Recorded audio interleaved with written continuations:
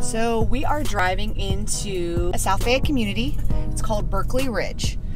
So this neighborhood was actually built by Heartland Homes. Uh, it's a small, tight-knit neighborhood, only two roads, Berkley Ridge Drive and Farmview Drive.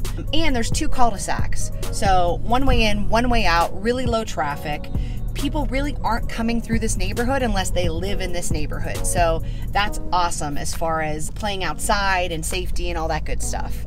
So houses don't come on the market very often in here, and when they do, they tend to sell pretty quickly just because it's a really desirable location. So Berkley Ridge is located off of Oak Ridge Road, eight minutes from I-79 and the new Topgolf in South Fayette, and it's about eight minutes away from the South Fayette School campus. So definitely centrally located, but it is considered to be McDonald, um, the McDonald side of South Fayette. A lot of farmland around, a lot of woods, so it's really scenic you'll see as we're kind of driving through the neighborhood, it's all masonry fronts. So what that means is the front of the house has to be either brick, stone, or Hardie board siding or a combination. So that's nice. That's a little bit different than typical portfolio builders that allow siding on the front. Another thing I love are there are sidewalks on both sides of the street. I know that sounds like something that's kind of little, but in the neighborhood that I live in, we have no sidewalks at all. And a lot of neighborhoods only have sidewalks on one side.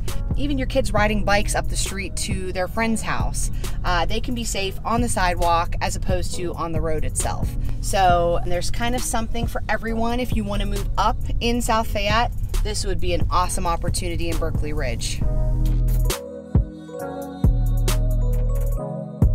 So if you live in South Fayette, or if there's a neighborhood that you absolutely love in South Fayette that I haven't done a video on yet, let me know. Go ahead and post below and comment and let me know what neighborhood I should go to, and we will put that on our video schedule very soon. Thanks, guys.